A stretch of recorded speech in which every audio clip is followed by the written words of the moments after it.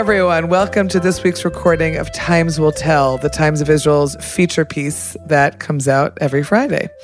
I'm Jessica Steinberg, your host for today's show. This week, we're speaking with two artists who will be performing at the Oud Festival, the annual celebration of the ancient stringed instrument and the musical traditions associated with it. It's a festival that's produced by Jerusalem's Confederation House, and it will be opening on November 18th with performances through the 27th. It's always a really wild mix of musicians and of music, with performers who are steeped in these classical Arabic tunes made on the oud, an instrument that looks like a short necked, pear shaped guitar. And there are those musicians who learned how to play it later in life, or are just accompanying it.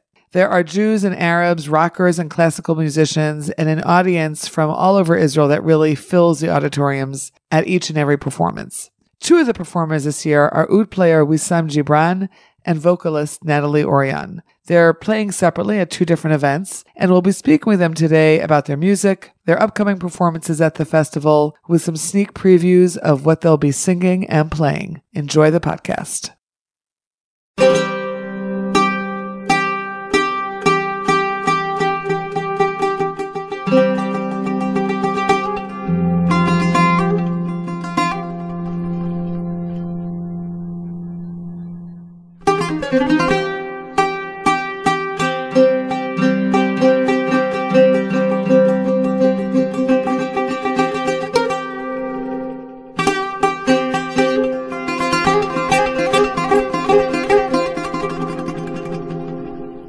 That was Wissam Gibran, a Palestinian composer, oud virtuoso, and a lute maker. He will be performing with poet Ronny Somekh at the Oud Festival. Welcome to you, Wissam.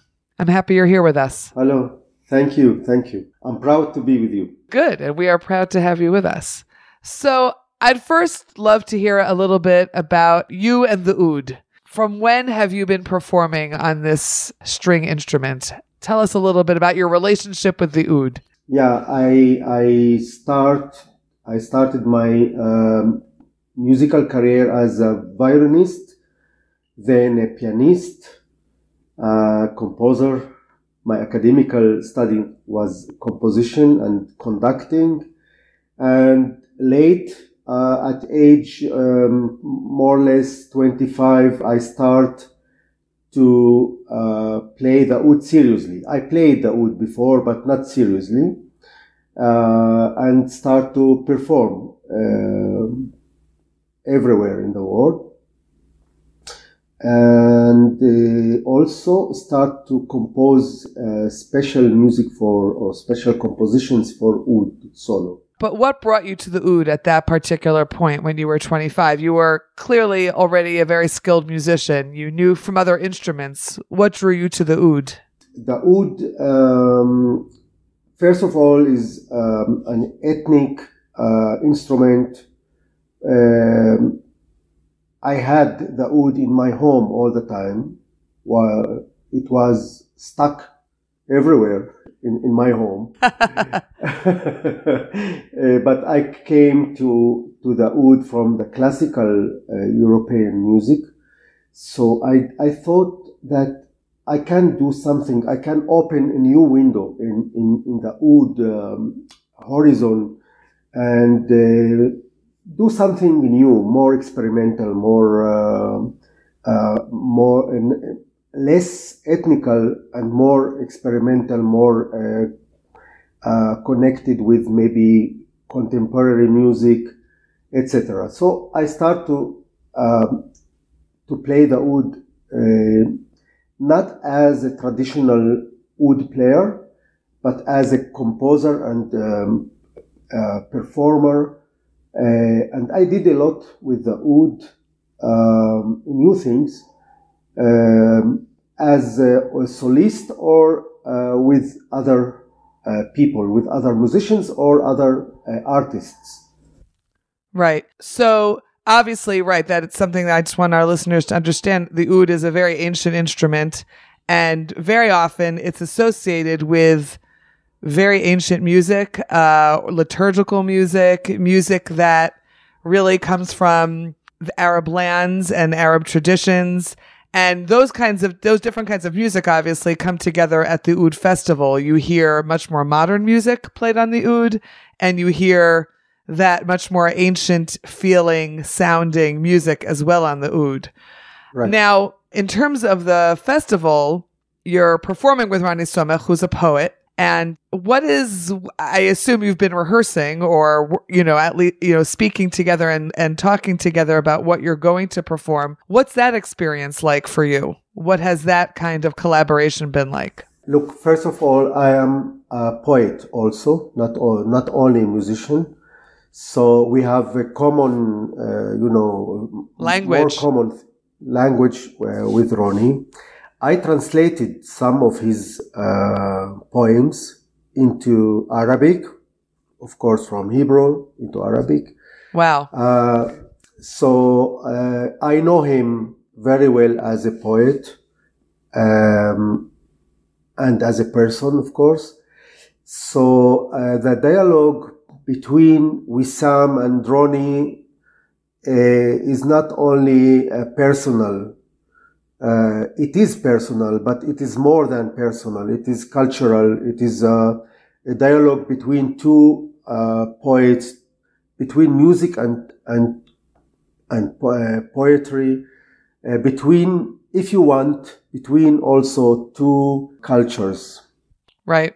I don't think that me or Ronny, uh, both, we don't represent any, you know. Um, how to say narrow national cultures, but we we are citizens of the world. But uh, in spite of that, I was born in a, um, in a, a, Palestinian society, which is uh, very, of course, um, uh, rich. There are the Christians, there are the Muslims, the Jewish. Um, other peoples, other cultures, other languages, uh, religions, etc., etc. And Ronny was born in Iraq, which is, um, you know, um, it's more or less the same culture, right? But from from from another uh, from another um, angle perspective, right? Perspective. So, which brings me to something I wanted to ask you about the Oud Festival, which is held in the you know, in different uh, spaces in Jerusalem, but focused on the what's called the Confederation House in Jerusalem, and is meant to bring together different audiences, Arab and Jewish, and of course does bring a predominantly Jewish Israeli audience. What is that like for you? What what does that mean for you? Is it something that you very much want to take part in? Is it a way of bringing aspects of who you are to this audience, or do you not see it that way? Do you see it in a different way? Okay, first of all, I used to play to um, uh, different uh, audience, um, different uh, races, cultures, uh, generations, etc. This is not new for me. Sure. Uh, and uh, that's why I improve my music in in um, in this path that, which uh, my music speaks to people, first of all, not to Jewish or Arabs or so. Um, my music is really um, born to interact with people as people, first of all. Jerusalem is a very complicated, uh, very, a very complicated, very very very difficult city, very you know heavy city. How to say? I don't know. Yeah, you're you're saying it exactly right. It's heavy and intense. Yeah, yeah, right. It's not a cosmopolitan city. It's not Berlin. It's not New York. It's not uh, Paris. Uh, right. It's Jerusalem. You know, it's uh, the the the center of the struggles in the, in the world, and personally, I don't like to live in Jerusalem. I hear you. But I like Jerusalem as tourist. it's nice uh, as tourist, but I don't like this this city. Um, honestly, I prefer to live uh, in a more liberal uh, cities. Uh, um, actually now in my age, I I prefer to live in villages. I get you. I get you. yeah. So, uh, did did I answer your question? yeah, you very much answered the question. What does happen for you on stage with that audience, with this uh, with this mix of people? I feel perfect. Uh, this is not the first time I play there in this festival. Uh, this is Right. maybe more than ten or more. I don't. I, Yeah, you you're you're you've appeared there many times, right? Yes. So every time I feel perfect uh, and different. I know already that the the hall will be full of very interesting people, very intellectual people, very uh, liberal people. Um, and uh, I usually uh, take it seriously. I prepare to this uh, kind of concerts. I, I really prefer, I really practice, I really think about what to do. And, um but I also like to improvise, you know, to just uh, to feel the place, the moment, and to interact and to listen to the energy of the audience. So you're saying that you'll be on stage, you've worked, you've prepared something, you're obviously there in this uh, duet of sorts with Ronny, Yes. and yet there's a very good chance that you're just going to bring something else to the stage. Yeah. Yeah. Wow. I, I, yes, I, I, I don't, I don't uh, believe on closed programs. I just feel the moment, the audience, and you know, if I feel that I can fly, so I fly, just fly. So then, can I ask you to play something right now? Yes, of course. yes. I will play. I will play uh, one piece, uh, my composition, but it's based on Iraqi melody, folk melody. Lovely. Uh, one of the pieces that I'm sure I, am going to play in this uh, evening.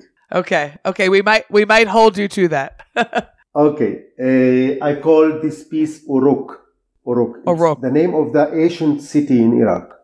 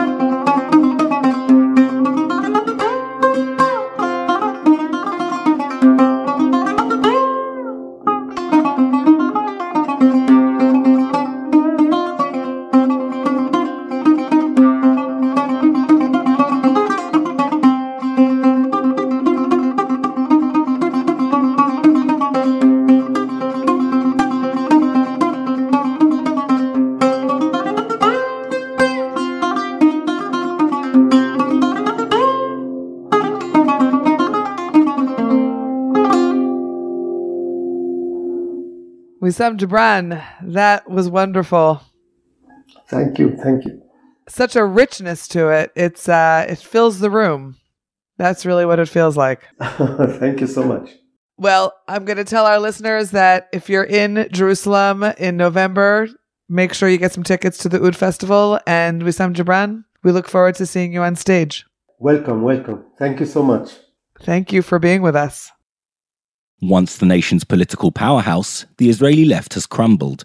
What's behind this dramatic demise?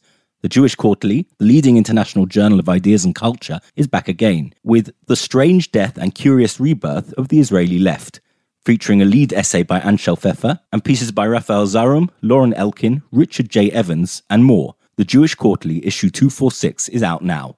Available at good bookshops and newsagents, or subscribe now at jewishquarterly.com.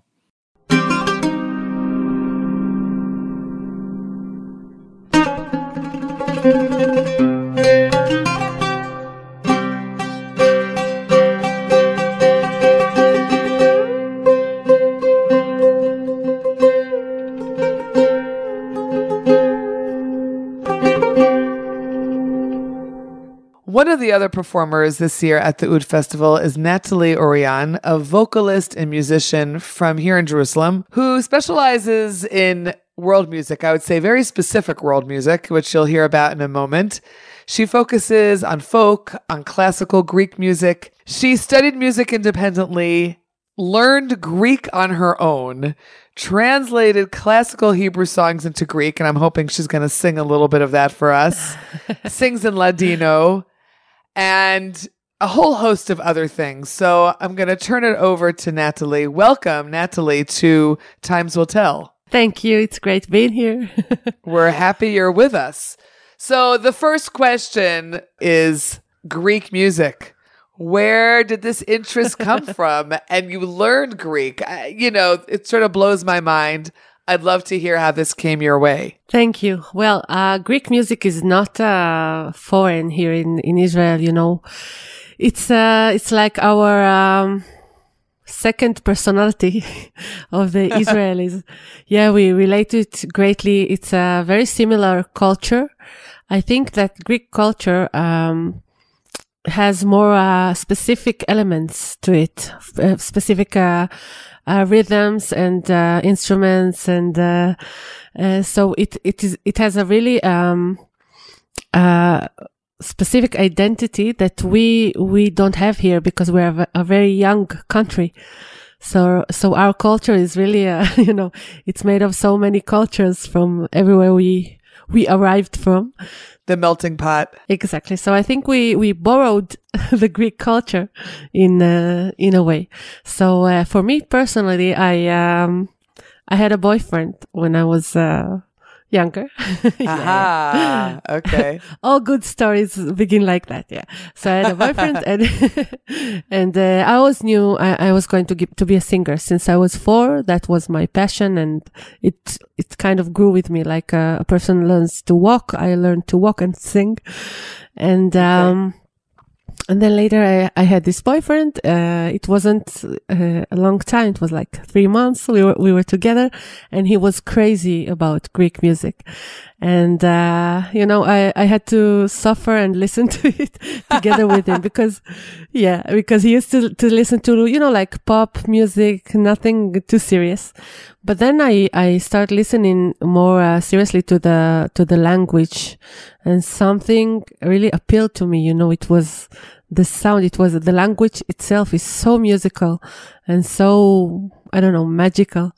So I started digging and I started uh, uh, studying about the culture, about, you know, there are so many genres within the Greek music. Right. So I got to, to the ones that are uh, more appealing and interesting uh, for me, to me. And, uh, and so I. More ancient or? Yeah. Okay. Yeah, I wouldn't say classical ancient, Greek but music. Yeah, classical. Classical. Traditional. Yeah, exactly. Mm-hmm. And, um, that's what I'm going to do at the Oud Festival. It's the Rebetiko music from the beginning of the 20th century. And, uh, it's really the traditional and it's the roots of the, the modern Greek music. Uh, it is really beautiful. Nataly, you had to I mean, you you didn't necessarily have to learn Greek in order to sing Greek music. For me, I had to but to. for you, I you had to. Yeah, right. I had to know what, what I'm what I'm talking about, what I'm singing. so, what did that mean? What did that entail? Well, I bought some um, some small uh, dictionary. That that was the the beginning, like Okay. a small one, a small uh, uh, Hebrew Greek dictionary, Hebrew and I started dictionary. to yeah, exactly. And then I started to memorize words. And uh, later, I found all kinds of uh, of books, and uh, I started translating songs or finding translation translations of uh, that other people made for for Greek songs, and Okay. that's how I I got the language. Later, I took it more seriously, and I I I did some uh, online courses courses and all kinds of. But uh, that was how I evolved into into it. And then, in terms of finding the period of Greek music that you felt connected to, how did that come about? I mean, you're you're talking about early 20th century, but how did the period come come about for you? Well, I, I was just looking for something beyond the um, beyond the the Greek pop, the modern Greek pop, or and um, I just went back in time and I listened to more and more musicians, and you know how how you, I just rolled with it, and I I got there, yeah. And um, it was just a a, a, re- a research that I did myself, and I got there. I hope you traveled to Greece in order to deepen your research Yeah. and your understanding. yeah. Yeah, I actually performed there a, a few times in uh, all around Greece. I mean, Thessaloniki and uh, Athens, and So you're an Israeli, places, an Israeli performer, an Israeli musician performing in Greek for Greeks. What was that like? What was that it was like? amazing. It was amazing. they really appreciate it. You know that the respect that you give their culture, and uh, the way that I personally de- dedicate most of my work to it. Um, and they they loved it. It was it was amazing. And they, they love this music, so you know it's they love their own music. Yeah, obviously. I can see today that uh, many groups, uh, musicians, uh, uh, bands, uh, young musicians uh, in Greece are um, making, uh, you know, renewals for uh, for these Rebetiko songs, you know, in all kinds of uh, more modern uh, arrangements. Which, of course, is really similar in some ways to what happens with something like the Oud Festival. In other words, you know, the Oud Festival is this ancient instrument, and now we have a lot of different kinds of musicians playing it and playing off of it. In other words, going back to the roots and finding what they can in it. So that's why I find it so fascinating that you're also performing as part of the Oud Festival of this exploration of musical roots, so to speak. the world is going in uh, s- somehow in circles. I mean, you you move forward, and you know the technology is de- is uh, developing, and then you miss the roots, and you go back, and you go back to uh, instru- to um, acoustic instruments again, and I see it all the time. You know, we go back and forth, uh, trying to, you know, we we we miss what we what we don't have currently. If we have too much electronic music, we we are going to miss the natural music, and it happens all the time. So that's why I, I'm not worried. I know that uh, yeah, there's a place for everything, and everything has its its time, and um, and it's really beautiful. I think. I can appreciate that attitude. So tell us what you're going to be performing at the Oud Festival. mostly uh, music from the beginning of the 20th century, uh, music Okay. that was uh, developed in Greece and also that came to Greece from uh, Turkey, from uh, Izmir. And um, it's kind of a mix. Uh, there, there are going to be all kinds of songs that are also uh, familiar to the Israeli audience, but most, but many songs that we are going to uh, introduce for. Uh, I don't know if the first time, but uh, you know that there are going to be uh, hidden tre- treasures that I found. Ooh. And uh, yeah, exactly. And uh, I want to say thank you to the Oud Festival and to the Effi Benaya, who is the artistic uh, director. And uh, it is really a, a great honor to be a part of it. Yeah, it's definitely one of the musical, one of the highlights of the musical year in Jerusalem. So I'm going to ask if you could Yeah. give a little bit of a preview of what you're going to sing. Maybe something even Sure. that some of our listeners would recognize. Maybe, Okay. perhaps. Okay. So I'll sing um, a little part of a song called Misirlu. Misirlu is it's a love song from uh, for a girl uh, from Egypt, and um, I think that the melody is very very familiar. So you, you'll probably recognize it. I won't sing along though. Okay, I'll just listen. Okay. Misirlu mui ilikyasu imatia Floga muhia nafsi mesticardia Ah ya habibi ah ya leleli ah τα δυο σου χείλη στάζουνε μελία. that is very familiar. Yeah, I know. So, what are the roots of that? Because I'm thinking of it as da da da da da da da da da. Yeah. The, the mizalu, the dance that you do sometimes around a Exactly. wedding. Um, that's okay. true. So clearly- uh, that's that's actually an interesting story because uh, until today there's an argument between the Greek and the Turks and the the you know uh, Sephardic uh, Jewish from around the area Sure. uh, for who who they don't know who composed it. So you know, and I sing it also in Ladino. It has uh, lyrics in Ladino, and that uh, makes sense. yeah. So uh, I don't know who who wrote it. But like this particular uh, piece that you just sang, so yeah. what year is that from? I think Around. it's uh, 1880 around. Wow. It's from yeah, the beginning of the Rebetiko era. So, are there other languages that are just sort of waiting for your for you to discover them and to sing the and to sing music in those languages? I mean, is there like a long list in your head of what's next, Wow. or is it does it have to come your way? I'm trying to stop myself because I'm going to have so many things that I I'm trying to focus. But uh, but yes, I'm always open to to do anything you know Okay, around world music. I I really love it. I think that uh, it's really important to to get to know. right. And I imagine that at the Oud Festival, there is obviously, you know, being surrounded by all different kinds of musicians and everything that everyone does. It's again that that fabulous melting pot of possibility, of musical possibility. Yeah, it's amazing. It's really a great honor to be a part of it. Well, Nataly Oryon, we are really happy to have had you on The Times Will Tell and to hear a little taste of your voice. Thank you. It's my pleasure.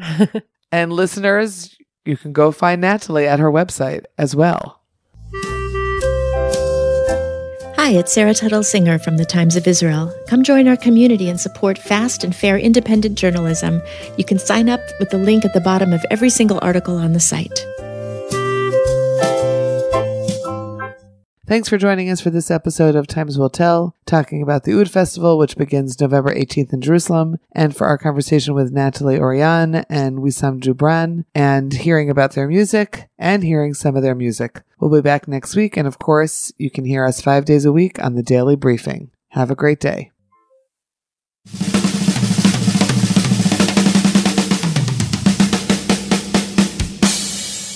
Thank you so much for listening to Times Will Tell, and a special thanks to TLV1 Studios for sound production help. If you like what you hear, please subscribe to Times Will Tell on all podcast platforms.